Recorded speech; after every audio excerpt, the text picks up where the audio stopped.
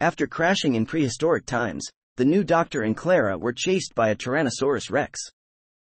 They managed to escape into the TARDIS, which the dinosaur then swallowed. The TARDIS then relocated to Victorian London, bringing the dinosaur with them, which spat out the time machine onto the banks of the Thames after choking on it. The doctor, suffering from severe post-regenerative confusion, stepped out and met Madame Vastra, Jenny, and Strax, joined by an equally befuddled Clara, before collapsing. Back at Paternoster Row, the doctor was put to bed to recover. Vastra confronted Clara over her prejudiced attitude to the doctor's new face, and Clara admitted that it was a big change for her. Upstairs, the doctor escaped his room and attempted to communicate with the dinosaur in the Thames, when it suddenly burst into flames.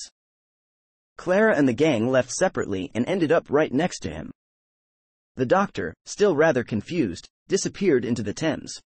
The next morning, Clara found a newspaper advertisement that called her the impossible girl and invited her to dinner on the other side of the page, which turned out to be an advert for Mancini's family restaurant. Believing it was a message planted by the doctor, Clara traveled to the restaurant and indeed found the doctor there, though he denied leaving the message. Clara and the doctor were taken down to the restaurant, larder, so that the droids could harvest their organs.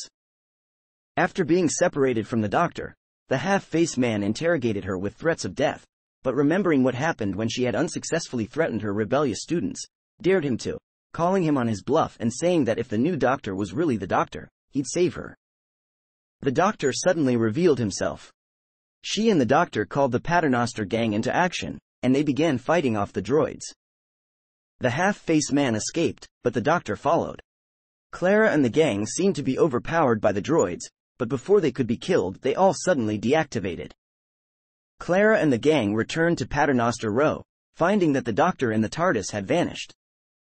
Clara prepared to ask for a vacancy, believing the doctor wouldn't come back.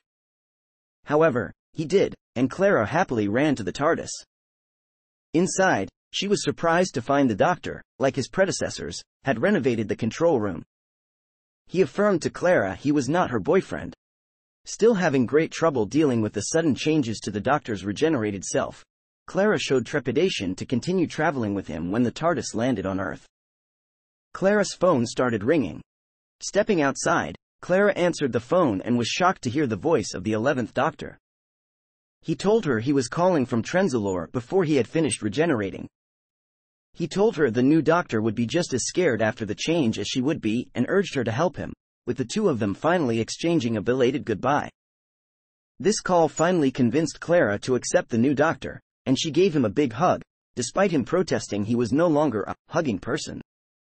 The two then realized that instead of Clara's home, they had landed in Glasgow, and they set off to get coffee.